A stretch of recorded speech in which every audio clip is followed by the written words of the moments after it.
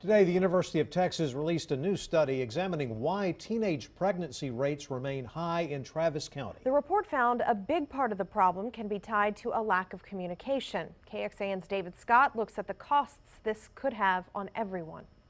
Communication between parents and children around sexuality isn't always what we'd like to see. It isn't very open, uh, honest, or often. Several parents joked that they feel like their teens know more than them around what's happening today.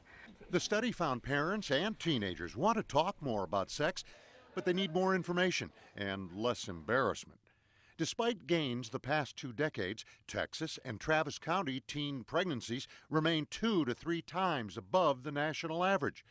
Four in five of those pregnancies come as a big surprise. Most of the young parents that we interviewed were surprised by their pregnancies. Many of them talked about how they didn't think it could happen to them. They thought it only happened to stupid people. The United Way is now launching a year long study to determine if it should join a pilot program using private money to preach prevention.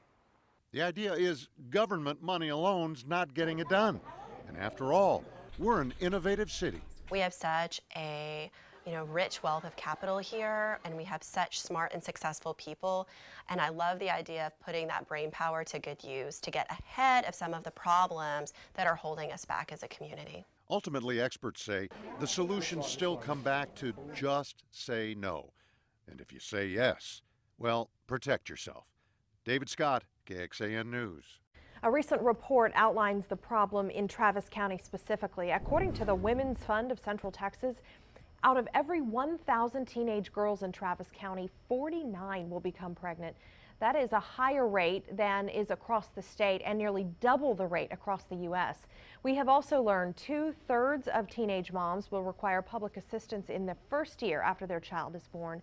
And the cost to Texas taxpayers is $1.1 billion.